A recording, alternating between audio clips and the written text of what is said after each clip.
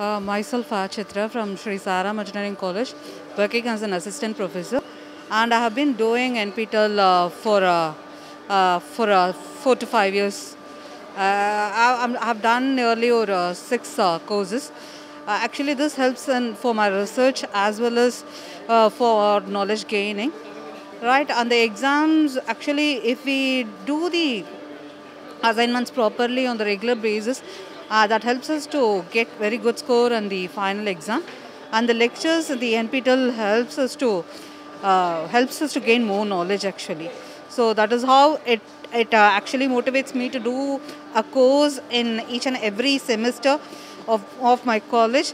And this time I have done introduction to soft computing, and this is going to be a basic course for my research work, and I have done it well. Thank you.